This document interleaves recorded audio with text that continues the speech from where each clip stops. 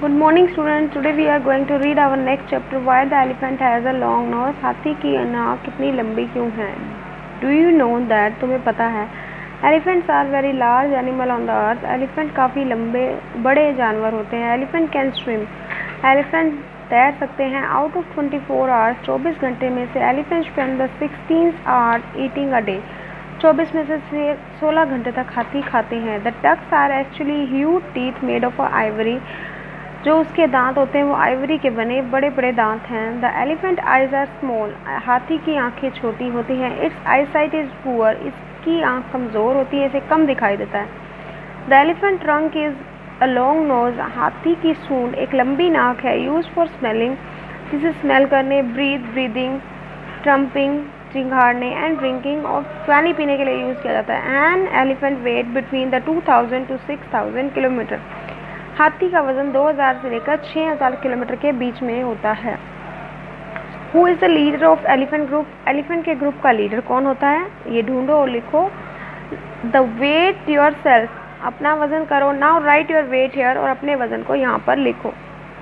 This is a story of a baby elephant whose inquisitive nature change the life of all animal of this kind जो उसकी सभी ज़िंदगी को उसकी ज़िंदगी को बदल देती है, उसके जैसे सभी जानवरों की ज़िंदगी को भी बदल देती है। मैनी ईयर्स एगो काफ़ी साल पहले, the elephant did not have a long nose, उसकी लंबी नाक नहीं थी। It is very, only the size of boot, ये सिर्फ़ एक बूट के साइज़ की थी। But baby elephant change it forever मगर छोटे हाथी ने इसे हमेशा के लिए बदल गया। This baby elephant was inquisitive.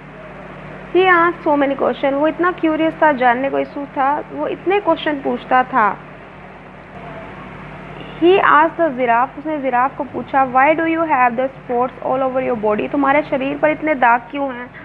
ही आज द ऑस्ट्रिच उसने ऑस्ट्रिच से पूछा why do your tail feather grow like this तुम्हारी पूंछ के बाल, पंख ऐसे क्यों हैं? ही आज द हिप्पो उसने हिप्पो से पूछा why are your eyes so red तुम्हारी आँखें इतनी लाल क्यों हैं? One day he was very inquisitive mood एक दिन वो काफ़ी क्यूरियस मूड में था। He wanted to know the crocodile ate for dinner कि क्रोकोडाइल डिनर में क्या खाता है। Hush be quiet all animal said in a fear सबने उसे चुप कराया चुप रहो। चुप। सभी जानवरों ने कहा, चुप हो जाओ, डर के मारे। Baby elephant did not keep quiet baby elephant तब भी चुप नहीं हुआ।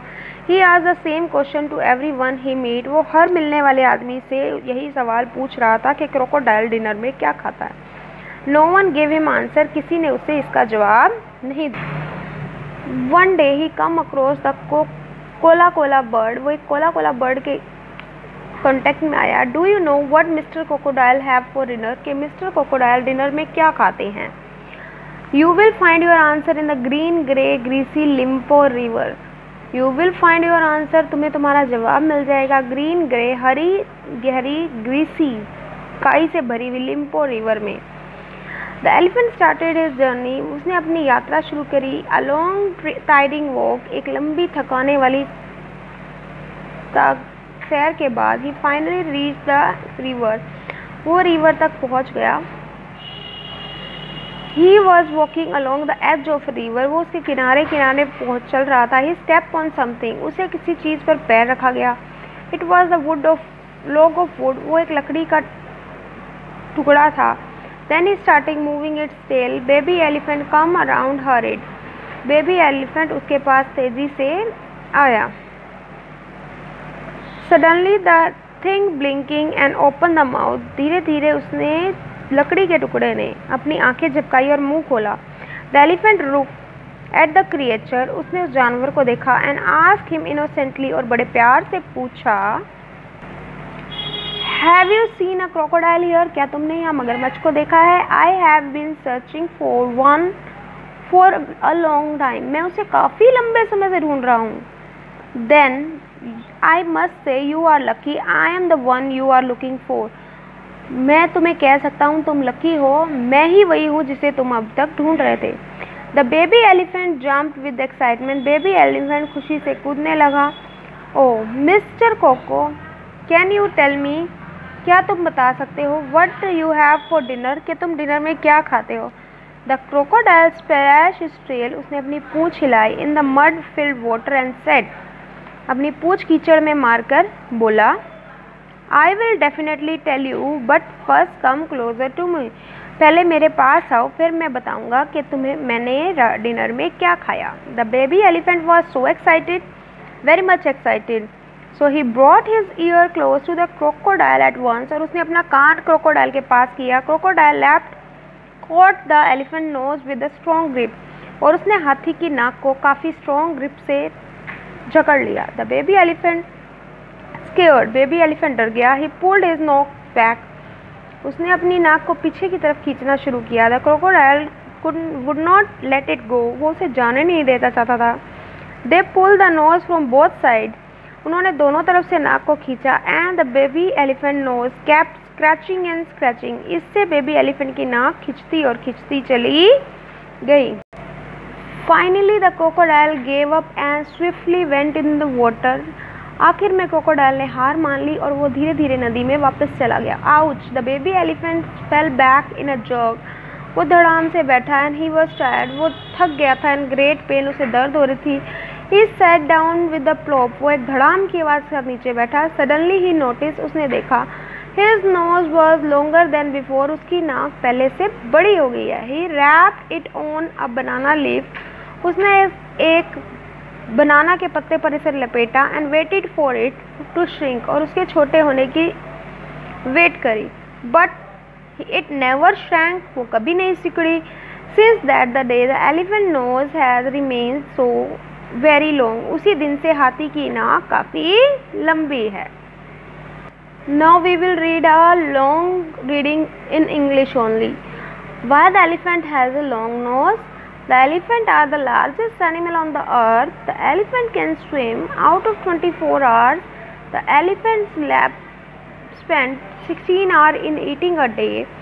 Their tusks are actually a huge teeth made of ivory. The elephant eyes are small. Its eyesight is poor. The elephant trunk is a long nose used for smelling, breathing, clumping, and drinking. An elephant weight between the 2000 to 6000 kilograms. This is a story of a baby animal who, in inquisitive nature, changed his life for all the animal of his kind. Many years ago, a little elephant did not have any long nose. It was only the size of a boot. But the elephant baby changed it forever. The elephant baby was inquisitive he asked so many questions. He asked the giraffe, Why do you have the spots all over your body? He asked the ostrich, Why do your tail feather grow like this? He asked the hippo, Why your eyes are so red? One day he was in a very inquisitive mood. He wanted to know what crocodile eat, ate for dinner. Hush, be quiet, said all the animals in fear. But the baby elephant did not keep quiet. He asked the same question to everyone he met. No one gave him an answer. One day he come across a colo colo bird. Do you know what Mr. Crocodile has for dinner? You will find your answer in a green grey and grassy Limpo river. The baby elephant started his journey. After a long, tiring walk, he finally reached the river. He was walking along the edge of river.